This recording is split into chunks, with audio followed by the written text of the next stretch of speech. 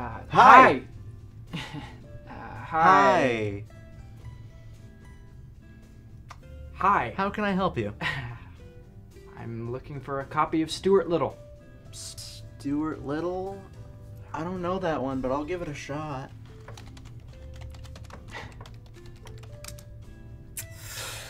No. You don't have any copies? No. Not a single copy? Oh, sorry. I, I think it's spelled U A R T. Oh, gotcha. S T E W U A R T. No. No copies. No. The classic book, Stuart Little by E.B. White. You don't have a copy. I'm not surprised. I've never heard of it. Okay. Uh, how about um, Clifford the Big Red Dog? Fiction or nonfiction? Like a real animal?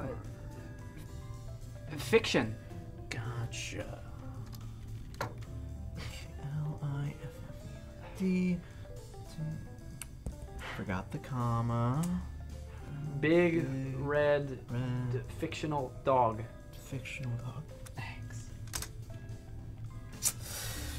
No. Nah, not a one, huh? No. Okay. Uh, how about Arthur? Yeah, we can look by author. No. What's the name? No, no, no. Uh, like the kids' books. Arthur. Like the king. I didn't know he wrote. Let me guess. No, not a no, no copies. Nah. Okay.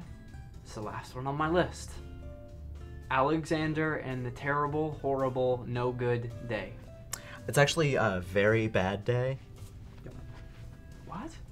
It's easier to find books when you know the titles.